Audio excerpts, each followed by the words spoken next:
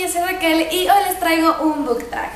Este book tag es el book tag de las criaturas y seres fantásticas y básicamente consiste en buscar un libro por cada criatura. Encuentra un libro que tenga un centauro.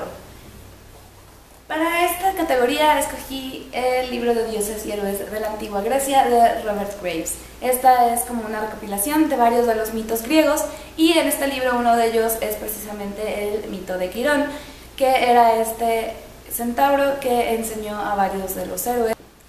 La siguiente categoría es un libro con vampiros y yo escogí Historia sobre un corazón roto y tal vez un par de colmillos de M.B. Bronson.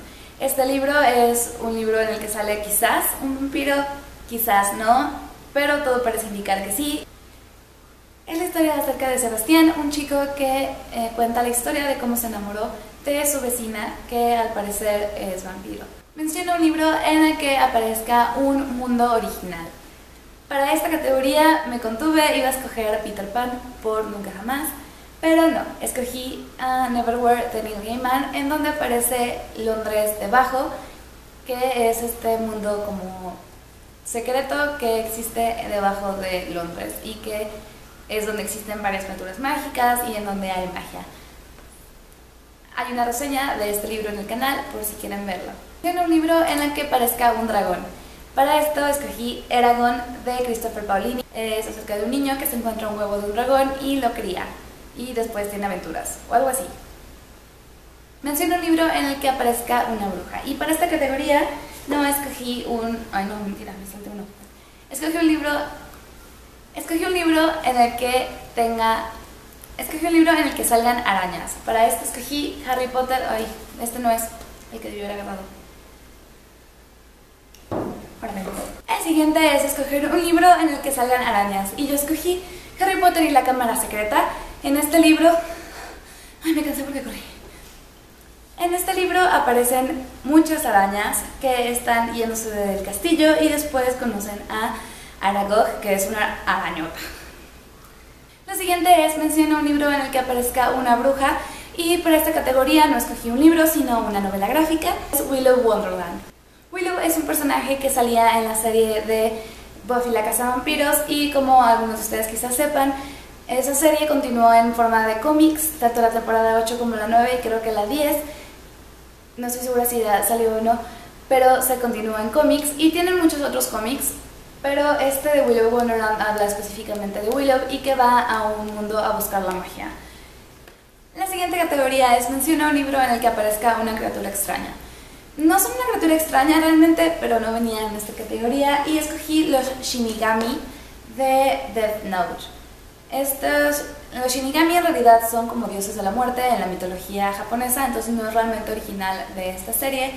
Sin embargo, pues aparecen aquí y por eso los escogí, pues son como pues criaturas extrañas. El siguiente es escoger un libro en el que aparezca un mago y por esto escogí El color de la magia de Terry Pratchett. Es el primer libro en la serie de Mundo Disco y eh, el personaje es el mago Ricewind, que es un mago medio malo. Malo en el sentido en el que no le sale mucho hacer magia y provoca muchos problemas en este mundo, pero también es un mago muy simpático. El siguiente es, menciono un libro en el que aparezca un hombre lobo y para esto escogí el segundo libro en la serie de Circle Freak de Darren Shan, que es el asistente del vampiro y en este libro em, es acerca de un chico que se vuelve vampiro y se vuelve asistente de un vampiro. Y se va a trabajar en un circo, ellos dos trabajan en un circo.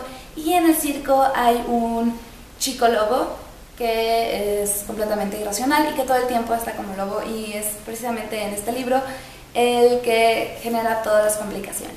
La siguiente es, escogí un libro con un ángel y para esto escogí la serie de Celestra de Addison Moore, en la que no son ángeles tal cual, sino descendientes de los ángeles. Y no voy a decir más porque... spoilers.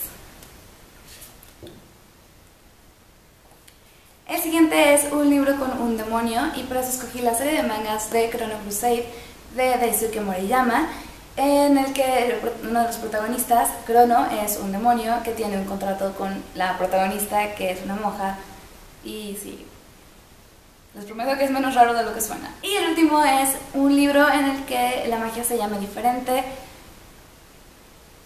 No encontré ninguno, la verdad es que no se me ocurrió ninguno, entonces pues esta categoría queda al vacía. Y bueno, eso es todo, espero que les haya gustado y taguear, siempre se me olvida taguear. ¿A quién tagueo? Mm, no sé. Es que por eso siempre se me olvida, porque a mí me gusta taguear.